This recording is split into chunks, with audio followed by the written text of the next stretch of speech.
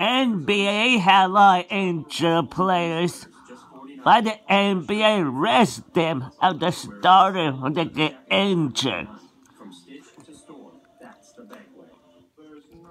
NBA has a lot of injured players. They have 200 player injuries in the NBA.